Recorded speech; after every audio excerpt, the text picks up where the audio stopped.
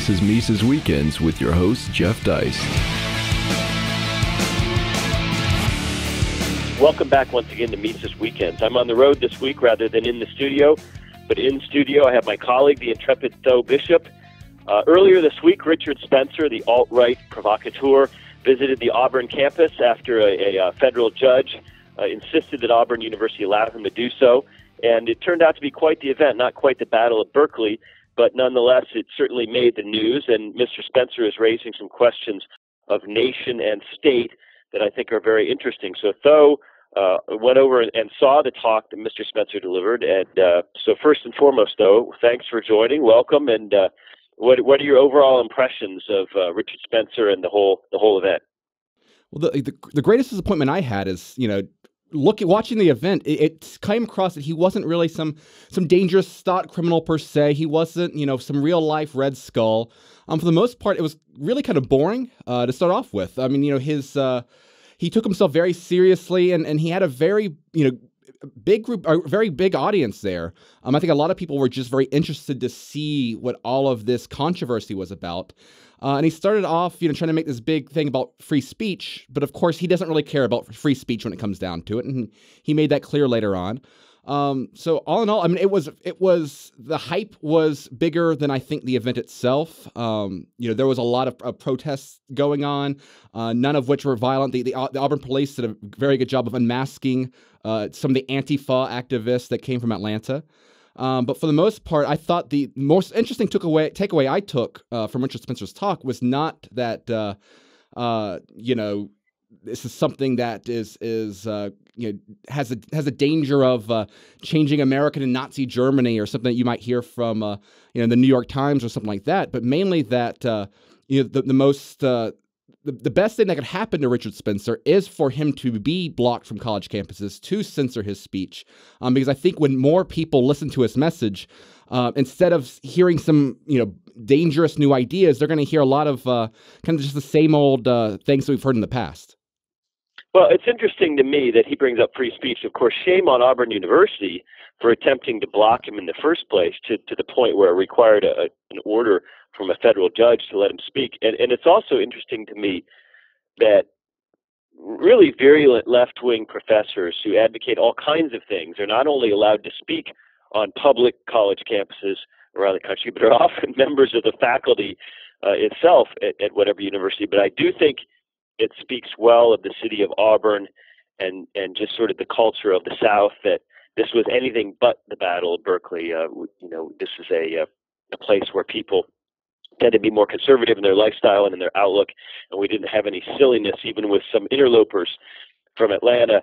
Uh, one thing that interested me though is you know he he talks a lot about nationalism in the state, but what I don't understand is how he imagines whether you want a white nationalist state or any other kind of state, how he imagines one is going to take over the apparatus of some vast Western government like the United States and repurpose it. I mean, does he not understand that that government is inherently progressive and that you, you can't use government to forward his purposes? I, I really don't know. You know, he, he I think he kind of really th- considers himself to be some great intellectual, but uh, you know, hearing him talk, he's clearly no uh, no Paul Gottfried or, or, even like a Jared Taylor. Um, you know, he is he's been kind of playing to that, that's kind of one of the interesting developments, you know, in the last last year or so. You know, he he went from being, you know, kind of a libertarianish sort of guy, um, you know, quoting Hoppe and stuff like that, to being more uh, you know, he, he was out there praising Bernie, uh, praising big government and talking about how he loves socialism. Uh, he's out in the past. He said, "Oh, you know, we should just uh, advocating for Trump just to go ahead and embrace universal health care." Um, so you know he's he's gone full on with the state, and you know he can he I think he actually kind of believes this whole narrative that he's built, or or at least does a good job of selling it. That oh well, this is some great revolution um, that we're going to reform uh, uh, American society. Well, the tactics here just don't hold up, right? I mean, the, idea that you're ever going to uh, to be able to get through the state. Uh, the, the, development of some sort of white ethno state that he desires, the, the idea that he's ever going to win through uh, uh, democracy or anything like this, um, you know, as you've talked about, you know, many times in the past, you know, the, the Trump election was not some great uh, revolution for white identity or or some some uh, uh, great turning point in American history. It's really a speed bump for the left.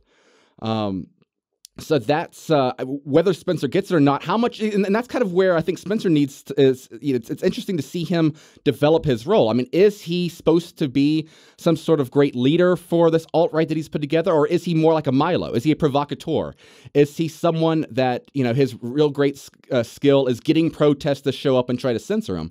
Um, you know, I I don't know.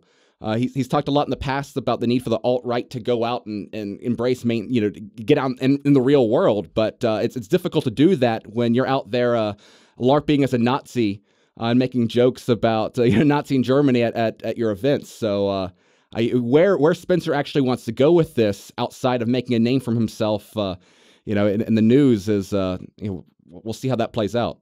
Well, it's clear that he equates nation with state in in ways that certainly Mises and, and Rothbard would not. Of course, Mises, as we know, was an Austrian patriot, uh, and, and Rothbard later in life came to really understand the concept of a nation, uh, of a unit other than just the state or the individual for us to analyze as libertarians in, in understanding society. But but I, I just wonder, you know, what Spencer might think in such a huge country, 320 million people, with such a vast government.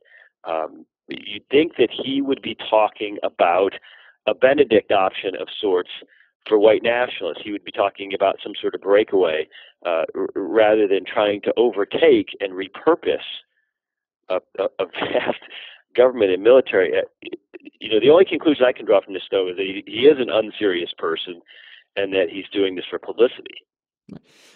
Absolutely, and, and, you know, I actually brought up the, the point uh, with him. I asked the question at the event um, because he, he, he took a lot of pleasure in, in uh, bad mouthing college football, right? Which is uh, you know that that's that's dangerous territory when you come on Auburn's campus and start bad mouthing college football.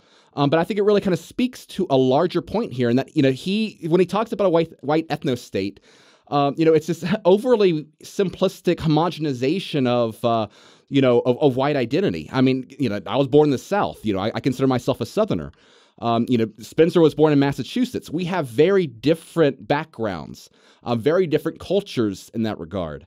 Um, and so, you know, I, I, think within kind of a, a Misesian framework of, of what a nation is, I mean, the idea of, you know, wanting to have your own uh, culture preserved, um, you know, the idea of of not being over, not being ruled by foreigners that don't that that just have so many things, you know, whether it be language or or other components that are completely foreign to you. Um, you know, I don't I don't think anyone wants that.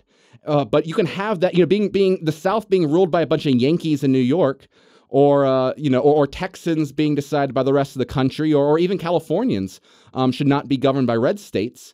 Um, you know, if, if uh, the only way that any of this sort of stuff makes sense is by embracing this sort of decentralization option, um, this this breakup of uh, you know this, these political uh, monopolies, uh, but but he doesn't he doesn't seem remotely interested in that. He uh, instead of trying to uh, discuss realistic ideas on, on how you know if, if, he wants to carve out a little piece for himself in Montana and white uh, in, in, around Whitefish and get enough people to to buy into that and, and buy their own property and, and you know they can do whatever they want in their own little community.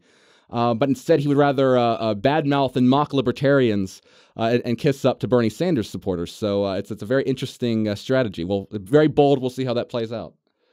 Well, and I think it's important for us to understand, as so many libertarians don't seem to understand, is that Richard Spencer and Trump are, are, are reactions to a, a, viciously overreaching and hateful left in this country. I mean, we, we, we should we need to understand that the real threat to liberty in this country is overwhelmingly comes from the left, not the right. That you know, Mike Huckabee is not going to install a theocratic uh, federal government anytime soon. Richard Spencer is not going to take over Montana anytime soon. But there are very real progressive authoritarians all around us. They're at your kids' junior high school.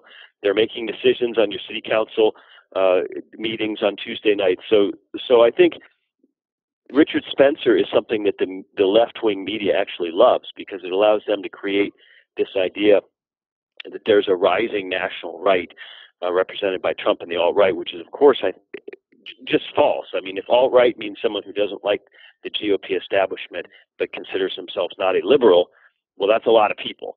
Uh, and it, they're painting with far too broad a brush. But let me get back to your point you made about football. Now, I like that because I do think, especially college football, tends to be uh, state-sponsored bread and circuses. But uh, I, I'm told that that that the the uh, what he said about football, or the question he got about it, might have actually been staged, and that he was obviously Auburn is SEC football crazy, and that he was actually trying to goad the audience with that.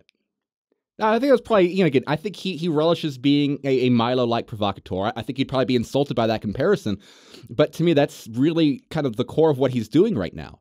Um, and and I think it's you know again it, you know perhaps you know for for the betterment of everyone else. I mean, I think it's to his detriment um, because I I do think I mean I've seen for myself the rise of uh, at least at the very least curiosity, if not outright. Uh, uh, you know, you know, loyalty to the alt right from people who used to be libertarians. I saw many students for Rand, uh, you know, activists, for example, last year become, uh, you know, interested in Richard Spencer. You had, uh, you know, people invite Richard Spencer to come speak at, at ISFLC.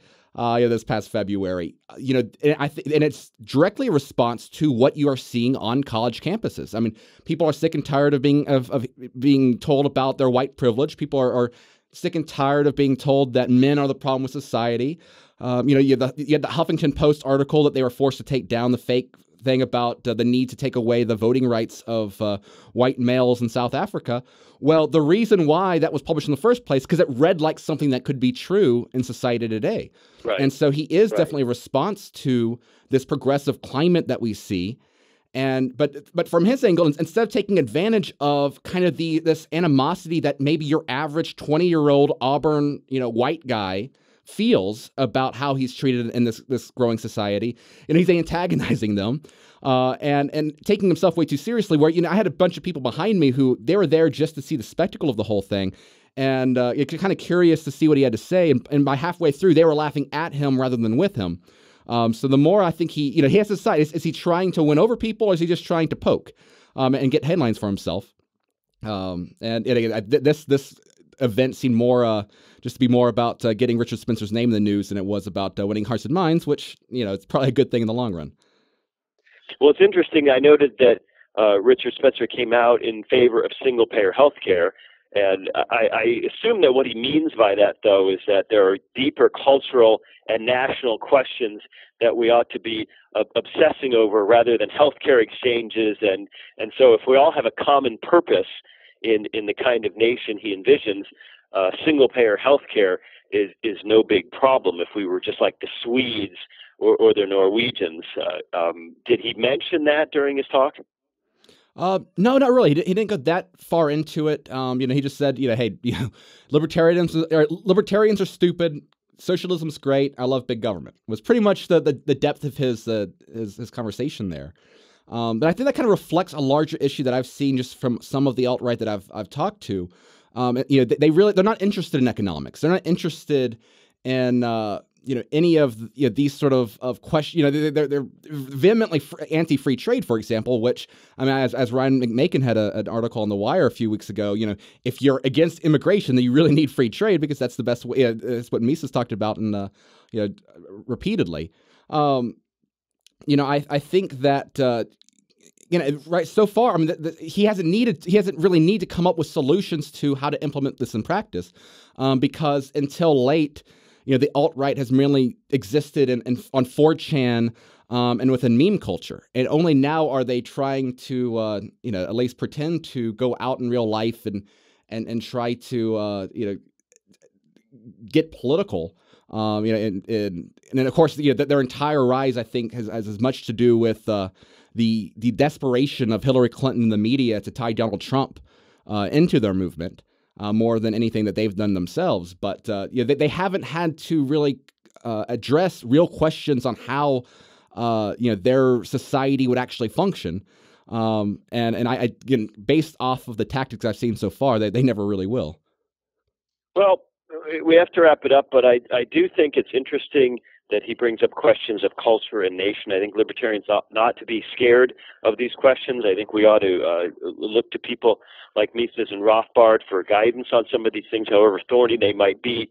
And I also think Richard Spencer ought to be allowed to speak. I think this is a, an absurd situation we've devolved into in the United States where the left gets a pass and uh, at least someone who's ostensibly on the right does not. So thank you so much for your time today. Ladies and gentlemen, have a great weekend. Subscribe to Mises Weekends via iTunes U, Stitcher, and SoundCloud, or listen on Mises.org and YouTube.